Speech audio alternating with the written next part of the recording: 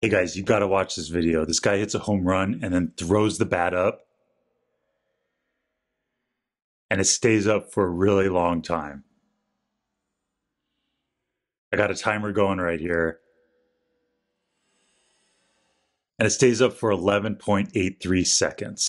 So let's figure out how high did the bat reach. We can visualize the path of the bat as a parabola, where the horizontal axis can be t for time in seconds, and the vertical axis can be h for the height that the bat goes. So we're interested in this point right here, how high did the bat reach? So this is the formula we're going to use. The height is equal to negative 4.9 t squared plus the initial velocity times time plus the initial height. So we'll call the initial height zero because the top of the bat is really close to the ground as he throws it. And we don't know the initial velocity, but we do know at the time 11.83 seconds, the height once again was zero. So we can use this information to find the initial velocity. Let's copy down our equation. Let's give ourselves some space. Let's plug in zero. And in the place of these t's, let's plug in 11.83. And in the place of the h, let's plug in zero. Negative 4.9 times 11.83 squared is negative 685.75. And let's copy down everything else. Let's add 685.75 to both sides. We end up with 685.75 is equal to 11.83 times the initial velocity.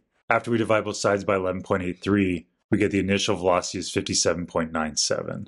And that's measured in meters per second. And if you're curious, that's about 208.69 kilometers per hour or 129.68 miles per hour. So that's pretty fast. We can update the initial velocity up here to 57.97.